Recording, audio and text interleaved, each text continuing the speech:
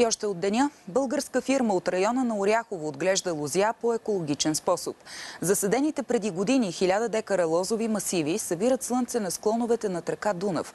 Производителите залагат на няколко винени сорта, които виреят в района на Средиземноморието. Още при засаждането на лозята са избрани такива сортове грозде, които се чувстват добре на българска територия.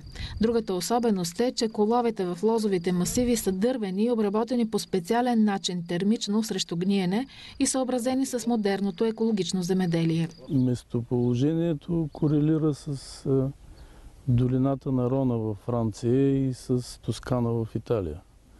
Така че има сходни черти на климата в тези две известни европейски области за производство на вино.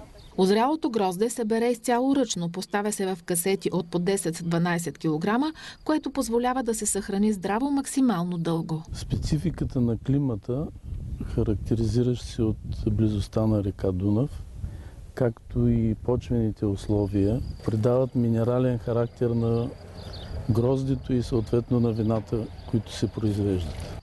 Специалистите казват, че за да се запазят ценните качества на плодовете, транспортирането става само в ранните часове на деня. Така ниските нощни температури държат гроздето хладно и качеството на сорта се запазва.